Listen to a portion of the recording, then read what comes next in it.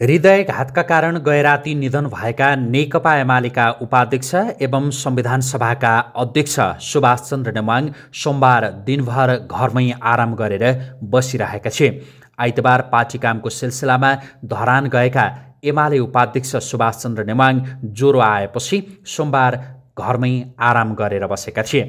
घरमै आराम गरेर बसिरहेका नेमाङको ज्वरो एक सय दुई डिग्रीसम्म आएको उनको पारिवारिक स्रोतले जनाएको छ।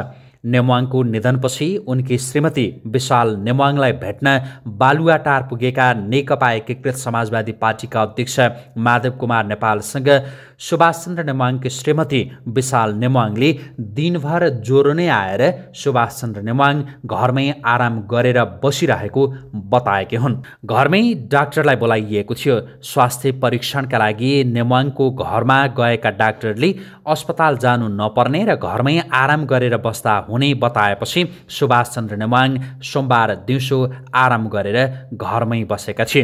बेलुका पख सुभाष नेवाङले सुप खाएर सुतेको उनको पारिवारिक स्रोतले जनाएको छ।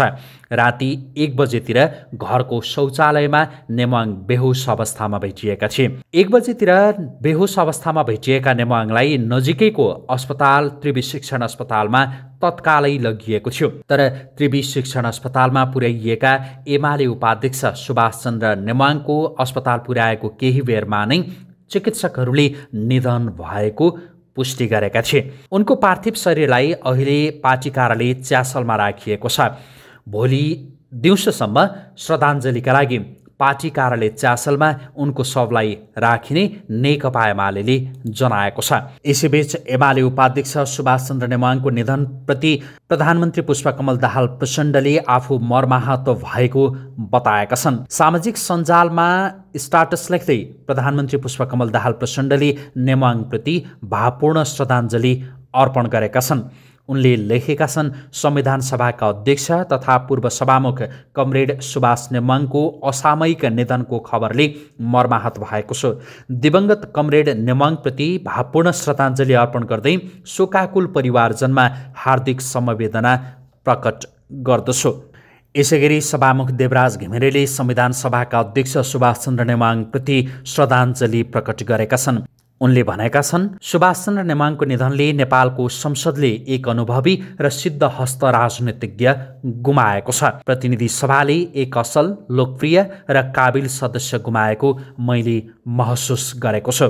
यस्तै उपाध्यक्ष नेमाङको निधनप्रति उपप्रधान तथा गृहमन्त्री नारायण काजी श्रेष्ठले श्रद्धाञ्जली अर्पण गरेका छन्। श्रेष्ठले संविधान सभा अध्यक्ष सुभाष नेमाङको निधनबाट नेपाली राजनीतिमा ठूलो क्षति भएको बताएका छन्। नेमाङप्रति श्रद्धाञ्जली अर्पण गर्न त्रिवी शिक्षण अस्पताल महाराजगञ्ज पुगेका उपप्रधान तथा गृहमन्त्री श्रेष्ठले भने नेपालको लोकतान्त्रिक परिवर्तनलाई संविधानमा संस्थागत गर्ने भूमिकाका निम्ति नेपाली जनताले सदा अध्यक्ष सुभाष नेमाङलाई स्मरण गरिरहनेछ। उनले भनेका छन् कुनै जटिलता आए खोजी गर्ने र निकास दिने नेता हुनुहुन्थ्यो उहाँ। पछिल्लो पटक जब मेटोब्याजी सम्बन्धी विधेयक जटिल अवस्थामा पुगेको थियो त्यसलाई संसदबाट पारित गरेर कानुन बनाउने दिशामा निर्णायक भूमिका खेल्ने काम उहाँबाट नै भएको थियो। यस्तै एमालेका सचेतक महेश बर्तौलाले संविधान सभाका अध्यक्ष सुभाष नेमाङको निधनसँगै मियो ढलेको बताएका छन्। उनले सामाजिक सञ्जालमा लेखेका छन् आज हाम्रो मियो ढल्यो अभिभावक गुमायौँ कहिल्यै बिर्सने छैनौँ आदरणीय नेता सुभाष नेमाङज्यू। यस्तै नेपाली काङ्ग्रेसका सभापति एवं पूर्व प्रधानमन्त्री शेरबहादुर देउवाले एमाले उपाध्यक्ष सुभाष नेमाङको निधनले स्तब्ध भएको बताएका छन्। उनले सामाजिक सञ्जालमा लेखेका छन्। नेकपा एमालेका उपाध्यक्ष एवं संविधान सभा अध्यक्ष सुभाष नेमाङजीको निधनले स्तब्ध भएको छु। उहाँको आत्माको चिर शान्तिको कामना गर्दै शोक सन्तप्त परिवारजनमा गहिरो समवेदना व्यक्त गर्दछु।